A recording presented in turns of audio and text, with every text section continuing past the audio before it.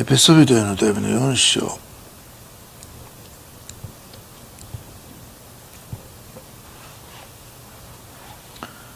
えーちょっと長いけど一節から読みますね。377ページ。一つ前の聖書と344ページ。エペソビトの4章。一節から少し長いですがお読みします。さて主の囚人である私はあなた方に進めます。召されたあなた方はその召しにふさわしく歩みなさい。謙遜と乳和の限りを尽くし寛容を示し愛をもって互いに忍び合い平和の絆で結ばれて御霊の一致を熱心に保ちなさい。体は一つ御霊は一つです。あなた方が召された時飯のもたらしたものとみが一つであったのと同じです。主は一つ信仰は一つバプテスマは一つです。すべてのものの上にありすべてのものを貫きすべてのものの地におられる。すべてのものの地なる神は一つです。しかし私たちは一人一人キリストの賜物を破壊に従って恵みを与えられました。そこでこう言われています。高いところに登られた時彼は多くの捕虜を引き連れ人々に賜物を分け与えられた。この登られたという言葉は彼がまず地の低いところに下られたということでなくてということでなくて何でしょう。この下られた方自身が全てのものを満たすために諸々の天よりも高く登られた方なのです。こうしてキリストご自身がある人を使徒ある人を預言者ある人を伝道者ある人を牧師また教師としてお立てになったのです。それは生徒たちを唱えて奉仕の働きをさせキリストの体を立て上げるためでありついに私たちが皆信仰の血と神の子に関する知識の血とに達し完全に大人になってキリストの導いた御岳にまで達するためです。うんぬんと続きますがここまでにしておきますね。天皇お父様、えーこの朝はありがとうございます。御言葉を通して豊かに語り導いてください。エス様にあってお願いします。アメン。はいおはようございます。えー、御言葉を通して今日も主は祝福くださることを感謝いたします、えーこれは五色のことを書かれているところが、まあ、11節にありますけれども、えー使徒預言者伝道者牧師教師ですね。で私の教会はその五色の教会。これはまああのえっと使徒団の教会あるいは新約教会って、ね、言われているところです。で今回ヨーロッパに行ってその五色の教会いわゆる使徒団新約教会と変わったと。我々と同じだということを言われましたけれども、まあ、いろんなね賜物を用いるとかいろんな特徴がありますが一つはもう五色のことがあるわけですけれども。でもちろん五色は特に建てられた使徒預言者伝道者牧師教師というのがいるわけですけれどもそれとともに各教会にも秩序があるわけですね。その各教会にある秩序っていうのはあのコリントの方に書いてあると思いますけれどもその、えーそれでそれねそれぞれがそれぞれの役割があるわけですね。でその教会っていうことを考えた時にその自分の立つべき位置にちゃんと立つかということが非常に大事であります。で本当に本来自分の立つべき位置に立つと自分も祝福されるし周りも祝福されるんですね。だから本来立つべきじゃないところに立つと本人も祝福を十分受けれませんし周りにもそれは妨害となったり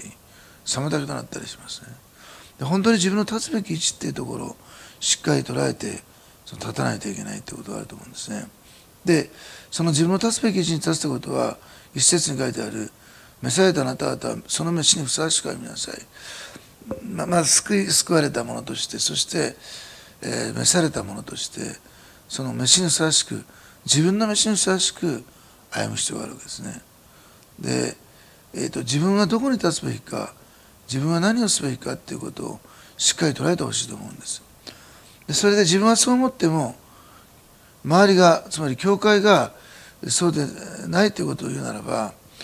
それはあのアウトなんですね。飯っていうのは教会と共にあるのででその自分自身の確認と教会の確認が必要だと思います。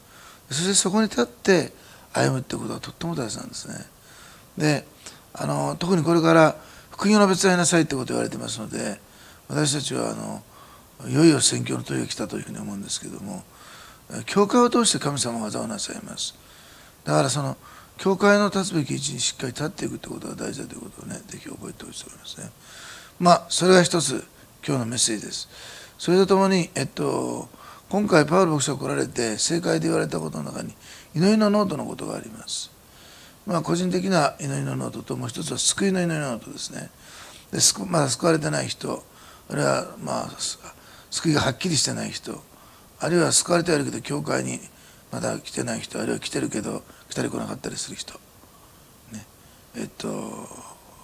風天の寅さんみたいな人いろいろいるわけですね。そういういろんな人をこうねちゃんと名前を挙げて、書いて祈ると。聖の導かれて祈るってことが大事なんですけどもしかしその聖の導かれて祈っていく時に書いておかないとこう落としてしまうことがあるわけですね。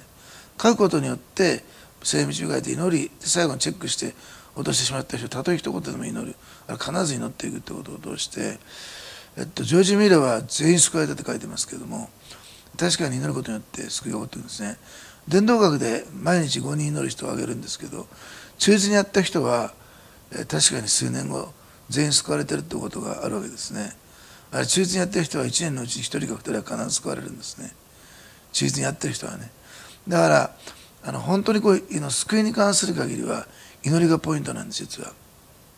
で個人で祈ると同時にそれを教会として祈るってことはとっても大切だということを思います。例えばあの今6時間祈祷っていうのやってるんですけどこれを忠実に出てる人たちってやっぱり教会の流れとか動きは分かってるんですね。こっちが何を祈りどう捉えてるかってことはね。やっぱりそこがしっかりしてないと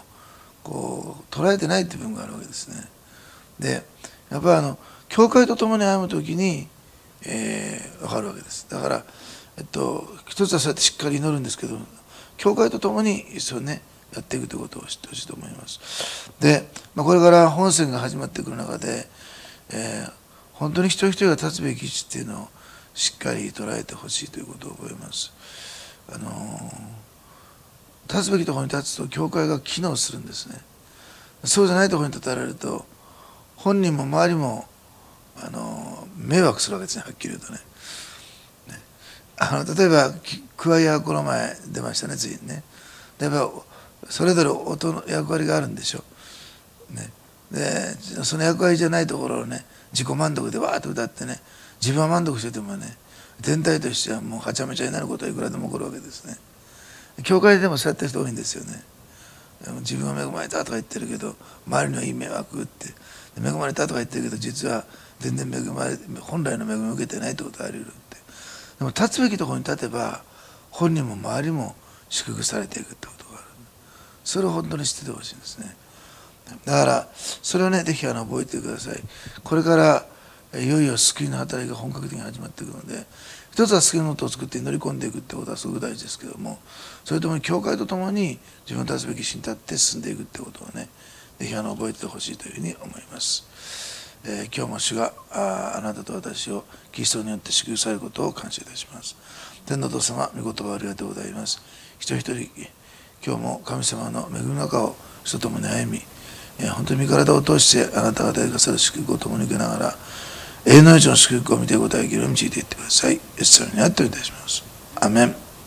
感謝します。